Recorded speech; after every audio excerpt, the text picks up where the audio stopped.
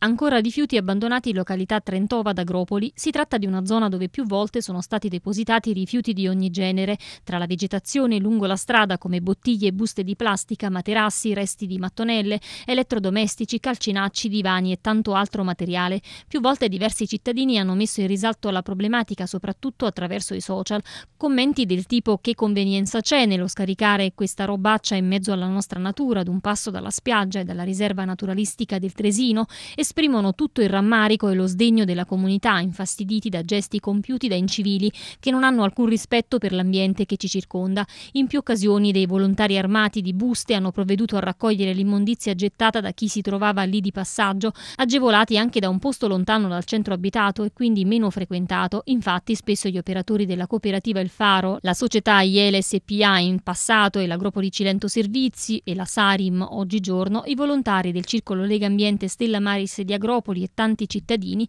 sono stati sul posto per sgomberare il tutto. Delle telecamere di videosorveglianza potrebbero aiutare a contrastare questo fenomeno che sta diventando sempre più frequente, con la possibilità di identificare i possibili responsabili fautori di questi gesti incivili, atti che oltre a creare malcontento da parte dei cittadini rovinano non solo la qualità ma anche l'immagine della cittadina agropolese, meta ogni anno di numerosi turisti che decidono di visitare il territorio.